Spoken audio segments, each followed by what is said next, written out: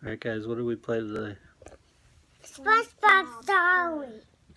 Sorry SpongeBob or SpongeBob Sorry. Yeah. So what do you guys think? Was it fun? Yeah. I'm the worst at sorry. Well, sorry is kind of, it's a racing game, but it's mostly a game of luck, right? Yep. There are a couple cards where you have to make decisions, but mostly it's luck.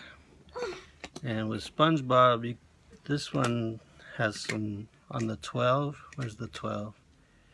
So the 12 is like a crazy card where if you have the right color, you can move directly to home. And that's kind of how we won.